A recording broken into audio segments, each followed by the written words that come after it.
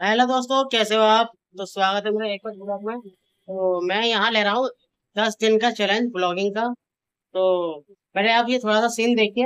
यहाँ पे एक नदी है और देखिए, मैं दिखाता हूँ यहाँ पर, ठीक है?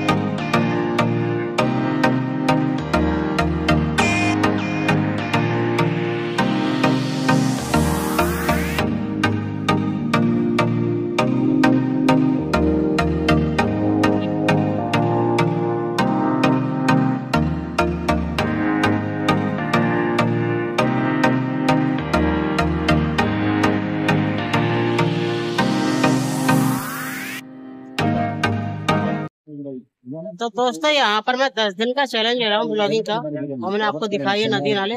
और ये दस दिन का जो चैलेंज होने वाला है ब्लॉगिंग का, आप सपोर्ट कीजिएगा। जिसमें आप अच्छे अच्छे ब्लॉग दे सकते